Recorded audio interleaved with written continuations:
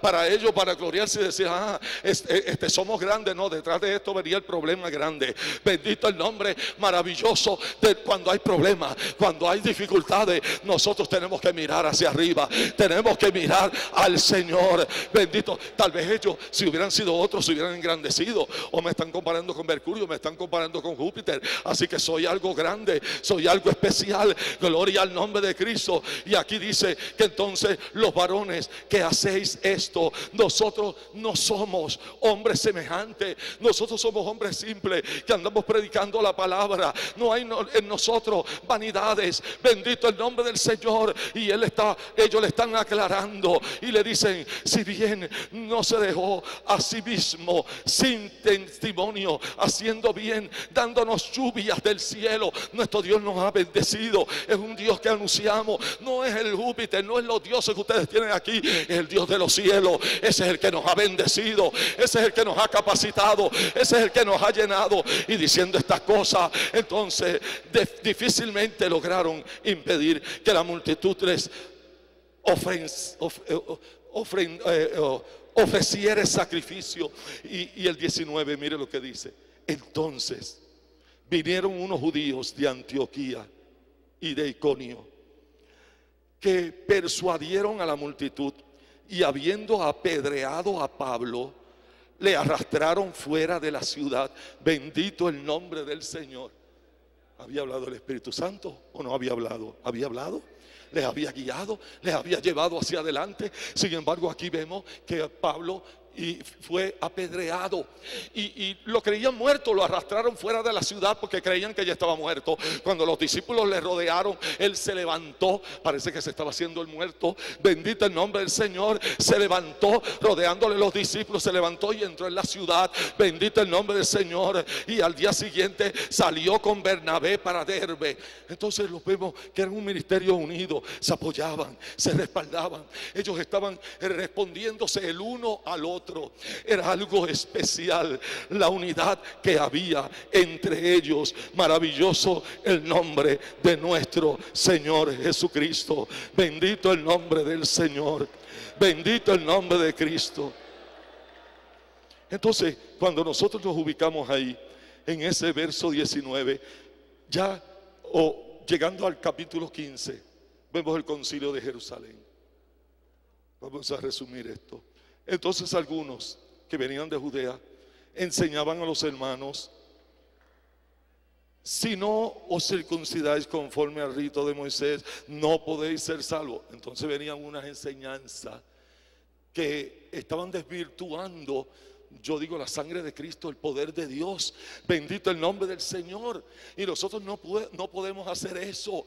Gloria al nombre maravilloso del Señor. Habían contienda, había disolución. Pablo y Bernabé con los de Judea. En el verso 2 dice, como Pablo y Bernabé tuvieron una gran discusión y contienda. Miren el verso 2 del capítulo 15. Esto no era una reunión cualquiera.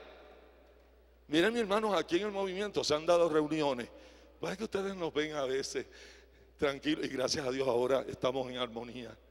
Gracias a Dios. Pero en tiempos pasados, aquí nosotros teníamos unos problemas en las reuniones y se paraba uno y daba puño. Que yo no, no vamos a decir nombres aquí, pero aquí están mis compañeros y saben que yo estoy hablando y de qué estoy hablando. Bendito el nombre del Señor, porque estoy en el lugar santo, que se ha constituido casa de Dios. Bendito el nombre del Señor. Miren mi hermano, eso era una cosa que no había forma. Si no entrábamos por los canales, por el pensamiento de esa persona, si, si había algún desacuerdo con lo que pensaba esa persona, mire, era una cosa que una vez a mí me llevó con el dedo hacia una pared que yo dije, listo, aquí me va a caer a puños arriba.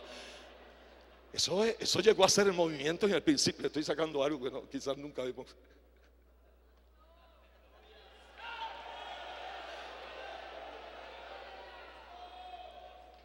Pero yo he sabido de reuniones de concilio, y me lo contó un pastor, que en medio de la reunión no se ponían de acuerdo.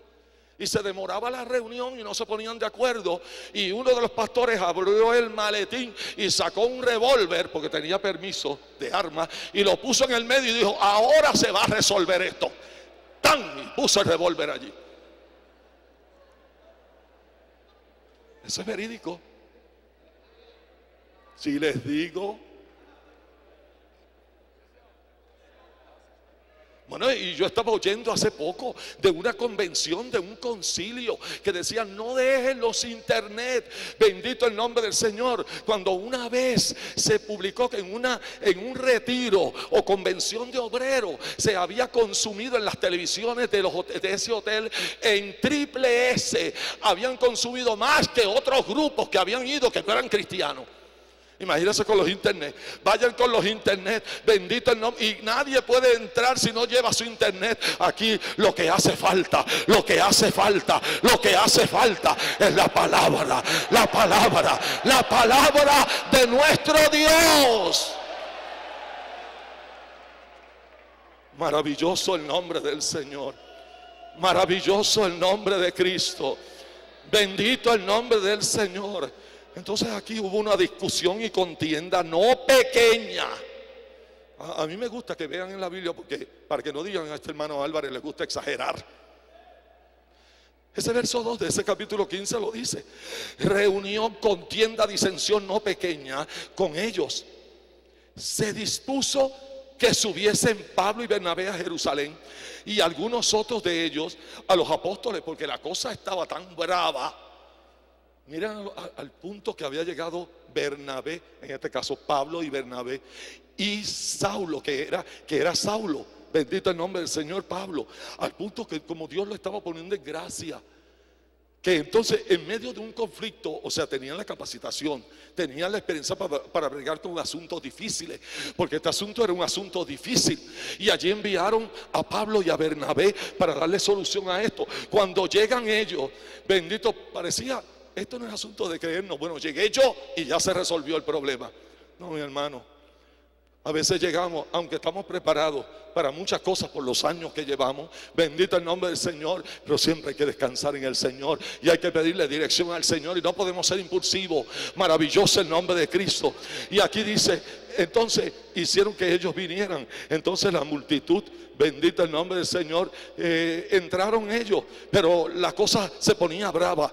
Eh, el asunto no se podía arreglar. Estaba discutiendo Pablo y Bernabé, pero ellos no entraban en ningún acuerdo, al punto que el verso 12 dice, entonces toda la multitud cayó y oyeron a Bernabé y a Pablo que contaban cuán grandes señales y maravillas había hecho Dios por medio de ellos entre los gentiles, porque entonces ellos tuvieron que explicarle, mire, los gentiles están abriendo el corazón, los gentiles en otras palabras, son más sensibles que ustedes. Los gentiles no están en las contiendas y en las discusiones que están ustedes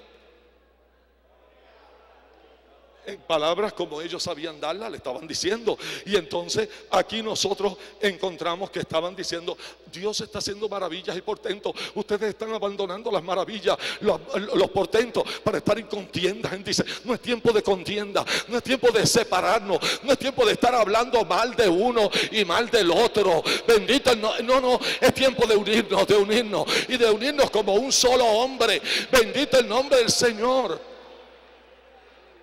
Y entonces dice, se callaron. Y Jacobo respondió diciendo, varones hermanos, oídme. Simón ha contado cómo Dios visitó por primera vez a los gentiles para tomar de ellos pueblo para su nombre. Bendito el nombre del Señor. Y allí les empezó a explicar, este pueblo definitivamente Dios está abriendo una puerta para este pueblo y esta es la hora de los gentiles. Le damos gracias al Señor. ¿Cuántos le dan gracias al Señor por eso? Porque nosotros entramos, somos de los gentiles que somos salvos. Bendito, este es el pueblo, este es el pueblo por el cual Bernabé y Saulo estaban y Pablo estaban hablando, estaban debatiendo, estaban aclarándole, es que el poder de Dios está. Pero entonces pareció bien a los apóstoles y a los ancianos con toda la iglesia elegir entre ellos varones y enviarlos a Antioquía con Pablo y Bernabé.